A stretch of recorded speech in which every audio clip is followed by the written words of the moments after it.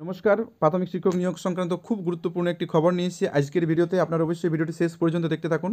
এই যে নিয়োগ প্রক্রিয়া শুরু করেছে প্রাথমিক শিক্ষা পর্ষদ, একুশ তারিখ থেকে যে আবেদন চলছে এখনও এই আবেদন প্রক্রিয়া এরপর দু হাজার চোদ্দ এবং দু হাজার সতেরো সালে যে সমস্ত টেট প্রার্থীরা ফেল করেছেন বা অনুত্তীর্ণ হয়েছেন, সেই সমস্ত চাকরি প্রার্থীরাও কিন্তু আবেদন করার সুযোগ পাবেন। কীভাবে আবেদন করার সুযোগ পাবেন বিস্তারিত এই ভিডিওতে আলোচনা করব। আপনাদেরকে একটাই রিকোয়েস্ট ভিডিওটিকে লাইক করবেন এবং চ্যানেলকে যদি এখনও সাবস্ক্রাইব না করে থাকেন, তো অবশ্যই চ্যানেলকে সাবস্ক্রাইব করবেন। দু হাজার নিয়োগ প্রক্রিয়া একুশে অক্টোবর থেকে শুরু করেছে প্রাথমিক শিক্ষা পর্ষদ এবং এই নিয়োগ প্রক্রিয়াতে দু হাজার চোদ্দ এবং দু হাজার সতেরো সালে যারা টেট পাস করেছেন, তারা অংশগ্রহণ নিচ্ছে। তার সাথে সাথে কিছুদিন আগে, অর্থাৎ বৃহস্পতিবার, বিচারপতি অভিজিৎ গঙ্গোপাধ্যায় নির্দেশ দিয়েছিলেন যে একুশ জন চাকরি প্রার্থী যাদের, যারা ফেল করেছিলেন, তাদেরকেও এই নিয়োগ প্রক্রিয়ায় অংশগ্রহণ করার জন্য তিনি নির্দেশ দিয়েছিলেন। সেক্ষেত্রে এই সংখ্যাটি কিন্তু আরও বেড়ে দাঁড়াচ্ছে। কীভাবে বেড়ে দাঁড়াচ্ছে বিস্তারিত আলোচনা করব। দেখুন, তার আগে হাইকোর্টে কী কী হয়েছিল একবার আপনাদেরকে জানিয়ে রাখি। দু হাজার চোদ্দ এবং দু সালে যে সমস্ত টেট প্রার্থীরা ফেল করেছিলেন, তাদের মধ্যে একুশ জন চাকরি প্রার্থী যাদেরকে নির্দেশ দিয়েছিলেন যে, অনুত্তীর্ণ চাকরি প্রার্থী যাদেরকে নির্দেশ দিয়েছে কলকাতা হাইকোর্টে এই নিয়োগ প্রক্রিয়া অংশগ্রহণ করার ক্ষেত্রে।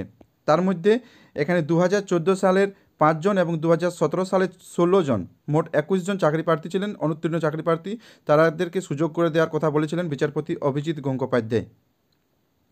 কিন্তু এই যে একুশ জন, এই একুশ জন কিন্তু শুধুমাত্র মামলাকারীরাই নয়, এখানে লক্ষাধিক হবে। অর্থাৎ যাদের যাদের ওই নাম্বার থাকবে, প্রত্যেকেই কিন্তু এই আবেদন করতে পারবে নিয়োগ প্রক্রিয়ার জন্য।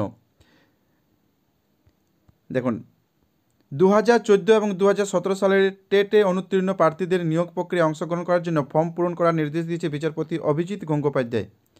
প্রসঙ্গত, মামলাকারীদের দাবি ছিল যে টেটে অনুত্তীর্ণ এই প্রার্থীরা দেড়শোর মধ্যে বিরাশি নম্বর পেয়েছে।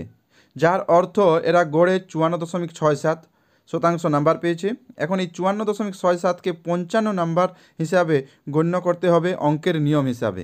আর পঞ্চান্ন পেলেই সবাই যোগ্য প্রার্থী হিসাবে মান্যতা পাবেন। এইভাবেই বৃহস্পতিবার কলকাতা হাইকোর্টে এই একুশ জনকে প্রথমত নির্দেশ দিয়েছিলেন আবেদন করার ক্ষেত্রে, কিন্তু পরে পরবর্তী ক্ষেত্রে বলা হচ্ছে যে শুধুমাত্র যারা মামলাকারী তারাই যে আবেদন করতে পারবে তা নয়, যতজন দু হাজার চোদ্দ এবং দু হাজার সতেরো সালে এই নাম্বারটা পেয়েছে তারা সংরক্ষিতর জন্য। এই নাম্বারটা পেয়েছে তারা প্রত্যেকেই কিন্তু টেটে আবেদন করতে পারবে। কারণ কি এখানে পাশাপাশি মামলাকারীদের আরও একটা দাবি ছিল যে তাদের দাবি দু হাজার সতেরো সালে আটটি প্রশ্ন ভুল ছিল যেটার মামলা রয়ে চলছে এখন কলকাতা হাইকোর্টে এবং দু হাজার চোদ্দ সালেরও কিছু প্রশ্ন ভুল ছিল। অর্থাৎ সেখানেও একটা ব্যাপার, বিষয় রয়েছে। মামলাকারীদের দাবি দু হাজার সালের টেটে প্রার্থীরা দেড়শোর মধ্যে বিরাশি নম্বর পেয়েছে পেয়েছে, ফলে তারা চুয়ান্ন দশমিক ছয় সাত শতাংশ নম্বর পেয়েছে। এই নিয়ম হিসাবে চুয়ান্ন দশমিক ছয় সাতকে পঞ্চান্ন নম্বর হিসাবে গণ্য করতে হবে এবং পঞ্চান্ন গণ্য করলে তারা কিন্তু উত্তীর্ণ। দু হাজার চোদ্দ সালের টেট পরীক্ষায় ছটি প্রশ্ন ভুল ছিল, যার মামলা ডিভিশন বেঞ্চে বিচারধানী রয়েছে।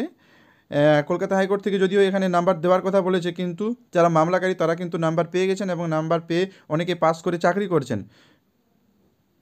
আদালতের নির্দেশে দেখা গেছে যে একুশ জন নয়, কালকে যেটা বলা হয়েছিল সরি পরশু যেটা বলা হয়েছিল একুশ জনের কথা, সেই একুশ জন নয়, বিপুল সংখ্যক পরীক্ষা, পরীক্ষার্থীকে এই নিয়োগ প্রক্রিয়ায় অংশগ্রহণের সুযোগ করে দিচ্ছে কলকাতা হাইকোর্ট। আশা করি ভিডিওটিতে অনেকেই উপকৃত হবেন। এই ধরনের খুব গুরুত্বপূর্ণ ভিডিও পাওয়ার জন্য চ্যানেলকে সাবস্ক্রাইব করুন এবং পাশের বেল আইকনকে প্রেস করুন। পরবর্তী ভিডিও নোটিফিকেশান পাওয়ার জন্য।